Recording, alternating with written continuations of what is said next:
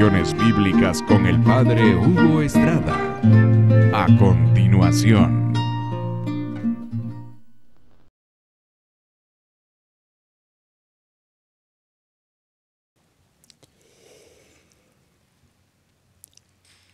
Al entrenador de un equipo de fútbol le interesa mucho saber cuáles son las tácticas que emplea el entrenador del equipo contrario, porque así se prepara mejor.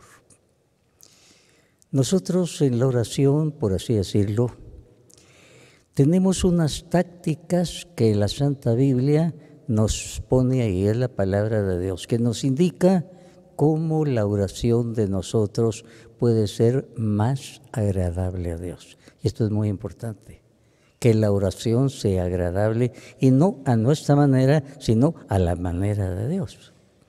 Por ejemplo, Jacob, él quería hacer las cosas como a él le daba la gana. Y tanto es así que un día aparece el ángel del Señor en la noche y comienza a luchar con él y Jacob, como está acostumbrado a luchar, pues se pone a vencer al ángel. Pero el ángel le da un golpecito y lo deja inutilizado. Y cuando está ya en el suelo le dice, ahora sí te puedo cambiar de nombre, ahora sí te voy a bendecir. El cambio de nombre en la Biblia indica una nueva relación con Dios. Aquel hombre ahora que estaba ahí en el suelo vencido, ahora iba a comenzar su verdadera conversión, su nueva relación con Dios. En la Biblia encontramos algunas tácticas, llamémoslas así, normas que el Señor nos da para que nuestra oración sea agradable a Él. Y esto lo podemos ver muy bien en el caso de lo que nosotros llamamos la mujer cananea. Cananea aquí quiere decir que era pagana, quiere decir que no era de las que seguía Jesús. Y tal vez alguna persona le había hablado de Jesús y cuando su hija estaba gravemente enferma porque tenía un espíritu malo, ella pues dijo, voy a ir a ese curador del cual me han hablado. Y se fue a postrar ante Jesús gritándole, Señor, mi hija tiene un mal espíritu, por favor. Y Jesús ni la volteó a ver. Jesús siguió caminando, instruyendo a los demás, y aquella grito y grito y nada. Y seguía gritando. Es que Jesús para esta mujer, en esta oportunidad, no quería un simple milagrito, quería algo más para ella, pero era pagana. Y entonces seguramente estaba esperando que escuchara más su palabra. La carta a los romanos dice, la fe viene como resultado de oír la predicación. Entonces Jesús seguía predicando y predicando que aumentara la fe de aquella persona, porque seguramente le habían hablado de él, tenía un poco de fe, pero no tanta todavía. Y aquella mujer seguía gritando. En la Biblia se nos cuenta que Jesús un día narró la parábola de un hombre que llamamos el hombre inoportuno. Como a medianoche va a tocar la puerta de un amigo porque le llegó un visitante y no tiene pan para darle de comer y va a tocar y el otro ya en la cama. Déjenos en paz, no son horas de venir a llamar aquí, ya estamos en la cama con mi familia. El otro, por favor, me llegó un visitante, no tengo pan. Aquel al fin no por bondad, sino para que no lo estuviera molestando, le abrió la puerta y le dio el pan. Y Jesús contó esa parábola refiriéndose a la oración. Hay momentos en que debemos seguir tocando. El Señor nunca nos dijo que la oración es yo tronando y lloviendo. No, aquí nos está indicando muchas veces les va a tocar seguir tocando. No se desesperen, sigan hasta que les abran, no se desanimen. Y eso es lo que nos toca, porque muchos a la primera ya se desaniman, no me escucha, Dios no me hace Hay que seguir tocando. Mientras estamos tocando, estamos recibiendo gracias. Mientras estamos clamando y gritando, el Señor está escuchando. Se está abriendo nuestro corazón se está abriendo la puerta. Es muy importante eso, el Señor lo dijo. Por eso el Señor dijo, Busquen y encontrarán. llamen y se les abrirá. El ciego Bartimeo también oyó que hablaban de Jesús y entonces procuró que lo pusieran cerca del lugar por donde iba a pasar Jesús y cuando iba pasando grito y grito y la gente ciego, malcriado, imprudente, deje de estar gritando, no nos deja escuchar a Jesús, cállese. Y el otro más gritaba todavía. Y Jesús dijo, tráigame a ese ciego. Al Señor le gustaron los gritos de aquel de fe. El Señor le gusta vernos gritando con fe. Eso abre la puerta, Él ya lo dijo. Y entonces algo importantísimo es eso, seguir gritando. El Señor nunca nos dijo al primer toque se les va a abrir la puerta. Más bien aquí nos dice, sigan gritando, sigan gritando.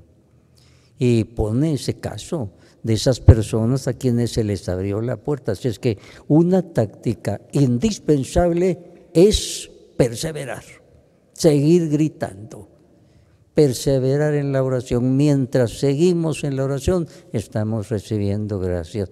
Mientras seguimos en la oración, se está abriendo nuestro corazón que tal vez estaba muy cerrado. Otra táctica indispensable es la de la fe.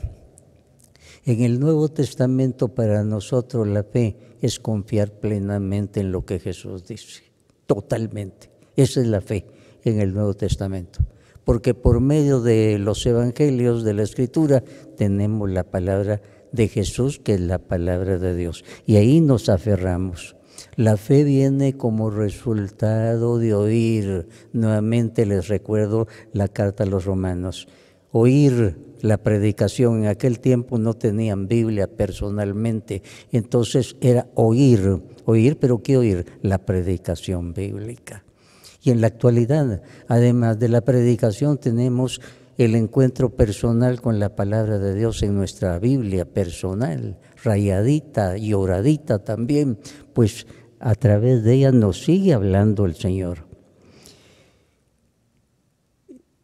A esta mujer, la mujer pagana, la cananea, el Señor hubo un momento en que le dijo, mujer, que se haga según tu fe, que se haga según tu fe.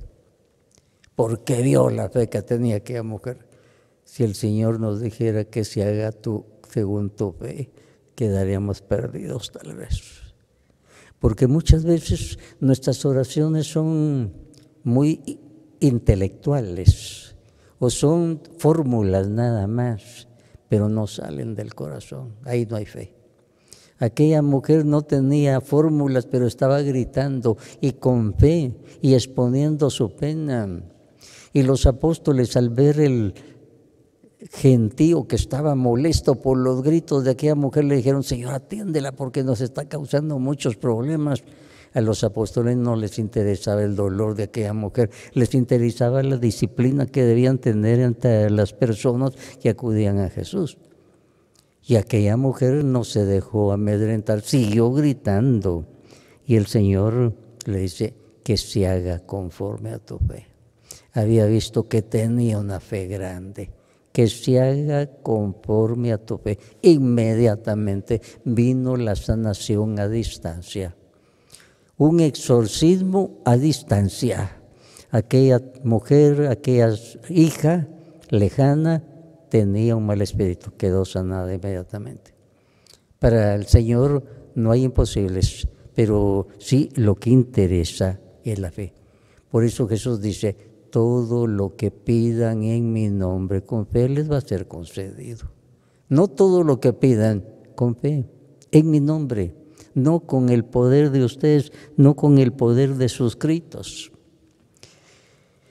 El profeta Elías retó a los 450 falsos profetas del pueblo que estaban engañando a tanta gente. Y les dijo, mire, hace meses que no llueve, pídanle ustedes a su Dios que llueva y yo le voy a pedir al mío, a ver que Dios es el poderoso. Y comienzan los falsos profetas a danzar, hacerse heridas con una navaja como acostumbraban, todo su ritual y nada. Y el profeta Elías se reía de ellos. Hasta llegó a decirles, tal vez está haciendo sus necesidades y por eso no los puede atender. Se estaba riendo de ellos. Al fin no lograron nada y le tocó a él. Y no fue fácil. Y se hinca y a su ayudante le dice, mira al cielo, está despejadísimo, profeta. Y sigue rezando Elías, ya se puede imaginar lo que le tocaba si no pasaba nada. Al ayudante, vete a ver el cielo nuevamente despejado. Y seguía rezando. Al fin el ayudante le dijo, allá a lo lejos hay una nubecita y ahí viene la lluvia, dijo. Y, y llovió de veras. Pero fíjense que al profeta santo y Elías le costó, le costó. Así es que no nos extrañemos que nos cuente a nosotros, que nos cueste a nosotros. En cierta oportunidad un grupo de personas fuimos invitados al pueblo Cerritos para una misa ahí debajo de una ceiba, todos los del pueblo ahí.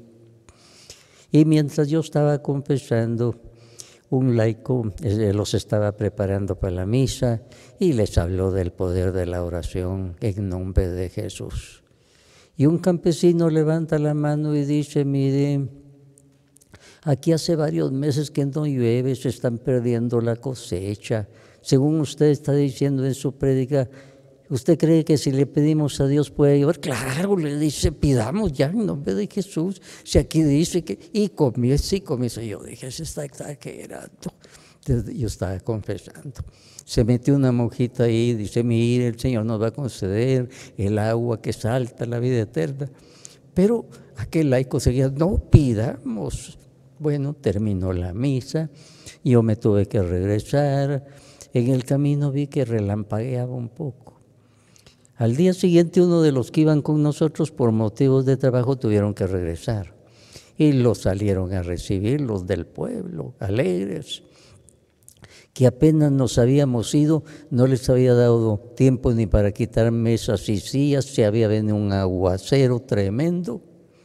La fe de aquellas personas sencillas que creyeron en la palabra del Señor.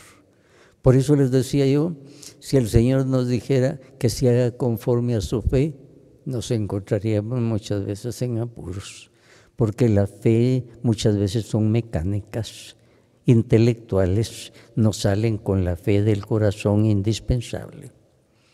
La otra táctica que puso en práctica aquella mujer fue la de la humildad. Piensen ustedes que los apóstoles van donde, Señor, atiende a esa señora, nos está causando muchos problemas. Y el Señor les dice, no está bien que el pan de los hijos se entregue a los perritos. Los judíos a los no judíos en religión los llamaban los eh, paganos, los llamaban los perros. Jesús suavizó y dice, perritos, yo venía en primer lugar para los del pueblo judío. Y aquella mujer oyó eso y dice, Señor, pero los perritos recogen las migajas que caen de la mesa de sus señores. En lugar de ponerse enojada aquella mujer y decir, me habían dicho que era bueno este señor, pero es como todos malos, nada. Ella dijo, pero los perritos recogen las migajas. Al Señor eso le impactó. Y le dijo, mujer, qué grande es tu fe que se haga conforme a esa fe. Inmediatamente quedó sanada su hija. Muchas veces nos creemos con méritos en nuestra oración. El fariseo de la parábola Jesús llegó y yo ayuno, yo doy diezmo, yo cumplo, yo no soy como aquel que está allá al fondo golpeándose el pecho, yo soy bueno. Él tenía todos los méritos del mundo. A Jesús le repugnó esa falsa oración. Ante Jesús nunca nos debemos presentar con nuestros méritos, quienes somos nosotros. Con los méritos de Jesús. Por eso decimos en nombre de Jesús. Si digo en mi nombre estoy perdido. En nombre de Jesús, no por mis méritos, sino por los méritos de Jesús. El rey David que había cometido graves pecados, pero que había sido perdonado, él en su Salmo 51 dice, un corazón humillado, hecho pedazos, tú no lo desprecias. Aquí no está dando otra táctica también. Al Señor no hay que presentarse con la frente levantada como el fariseo, yo ayuno, yo doy mis diezmos, yo rezo, no con humildad. Un corazón hecho pedazos, tú no lo desprecias, dice David. Y aquella mujer, humildad. No está bien que el pan de los hijos se dé a los perritos, Señor, pero los perritos recogen aunque sea las migajas. Mujer, qué grande es tu fe. Que se haga conforme tú quieres. Eso de la humildad es importante. También al Señor se le presentó un alto militar con grandes condecoraciones, pero el Señor le dijo, Señor, en mi casa, no mi esposa, mis hijos, mi hermano, mi sirviente está muy enfermo. Y el Señor le dice, vamos a tu casa. No, Señor, le dice, yo no soy digno de que entres en mi casa. Basta que diga usted una palabra y mi siervo va a quedar sano. O sea, aquel militar pagano sabía que los judíos no podían entrar en la casa, los eh, judíos no podían entrar en la casa de los paganos, quedaban contaminados y entonces ya no podían ingresar en el templo. Y por eso él se adelanta con mucha humildad, aquel militar romano. Y se adelanta, no Señor, yo no soy digno de que entres en mi casa, por eso, porque soy pagano. Pero yo creo que a ti te basta una sola palabra y mi siervo va a quedar sano. Y Jesús dijo, en Israel nunca he encontrado tanta fe como en este hombre, un pagano, un pagano, pero había puesto su fe y también una curación a distancia. Tu sirviente ya está sanado. Hermanos, esta táctica no puede existir cuando nosotros llegamos a reclamarle al Señor, ¿por qué a mí? Solo con eso, porque a mí quiere decir, eres injusto, no te das cuenta. O si no, ni cuenta me doy yo que soy un gran pecador y creo que el Señor me tiene que escuchar. O sea, la táctica de la humildad es muy importante y falta muchas veces. Debemos revisar bien nuestra oración. Hermanos, a veces aparecen aquí en la iglesia lo que le llaman cadenas de oración rece tantos Padre Nuestros, tantas Ave Marías, encienda tantas candelas, durante tantos días haga, mira, parece receta de cocina. Las oraciones no tienen receta de cocina. Un poquito de frijoles, de arroz, de aceite, de chile. No, no, no. La oración no tiene esas recetas. Todo lo que pidan en mi nombre, les va a ser concedido con fe. Toquen a la puerta, llamen, se les va a abrir.